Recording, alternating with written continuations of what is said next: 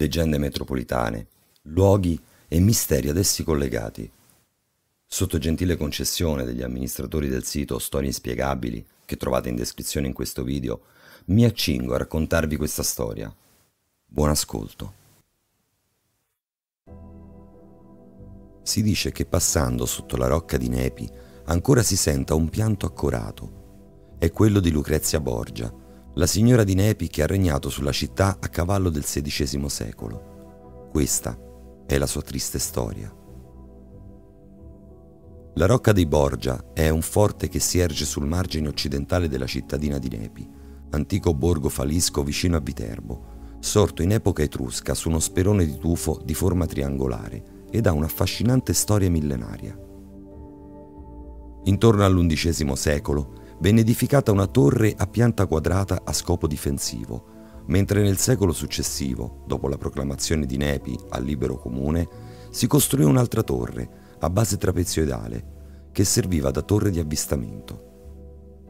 Infine ne venne eretta una terza, al di sopra dell'antica porta romana, sulla via Amerina, e il castello assunse quindi una forma poligonale, con tre torri poste sul vertice ovest, est e nord-est, collegate da un camminamento di ronda. Ma è nel XV secolo, quando Nepi passò nelle mani della famiglia Borgia, che la rocca e il castello crebbero di importanza e assunsero la configurazione odierna.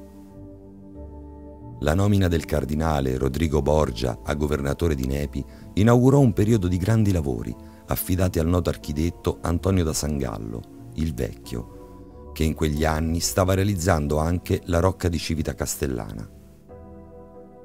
Le ristrutturazioni ampliarono la rocca e ne migliorarono sia la funzione difensiva, che con il passare degli anni era passata in secondo piano, ma soprattutto quella residenziale. Quando nel 1492 il cardinale Rodrigo Borgia venne eletto pontefice con il nome di Alessandro VI, Nepi fu ceduta al cardinale Ascanio Sforza in cambio di appoggi politici. Ma con i Borgia nessuna situazione è destinata a durare Infatti nel 1949, a seguito dell'invasione francese a Milano, Alessandro VI tolse Nepi ad Ascanio Sforza e la affidò alla figlia illegittima Lucrezia. Lucrezia Borgia fu signora di Nepi dal 1499 al 1501, ducato che le venne assegnato dal Papa dopo l'uccisione del marito, Alfonso d'Aragona, per trascorrere un periodo di lutto. Altri sostengono che l'assegnazione del ducato fu fatta per quietare ogni possibile astio con il padre e con il fratello Cesare. Lucrezia non fu affatto la spietata avvelenatrice passata alla storia, probabilmente a causa dell'omonima tragedia Lucrece Borgia di Victor Hugo, ma dapprima una sorta di pedina matrimoniale più o meno consenziente per le ambizioni politiche di famiglia. Poi una triste donna resa vedova da una congiura organizzata dal fratello Cesare il duca Valentino che ha ispirato il principe di Machiavelli. Qualcuno infatti ancora oggi sostiene che, passando sotto il forte, si possa sentire il pianto straziante di Lucrezia, a cui il fratello Cesare portò via il marito. Qualcun altro giura di aver visto il suo fantasma.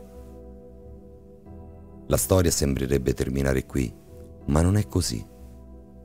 Il 30 dicembre del 1501 la donna appena ventunenne si sposò per procura con il terzo marito, Alfonso I d'Este, primogenito del duca Ercole I di Ferrara, e lì si trasferì nel febbraio del 1502, dove morì il 24 giugno del 1519. Aveva 39 anni. La presenza dello spettro di Lucrezia è stata avvertita da almeno una dozzina di testimoni, anche nel castello Estense, Molti riferiscono di aver visto il fantasma della donna aggirarsi per i corridoi del castello di Ferrara. Sono state raccolte testimonianze di avvistamenti di Lucrezia già nel 2012. I testimoni avrebbero giurato di aver visto sia uno spettro visibile dalla vita in su, altri invece una figura intera. Questa cosa risulta quasi impossibile da credere e sono stati fatti dei rilevamenti nel 2016, ma senza ottenere risultati soddisfacenti.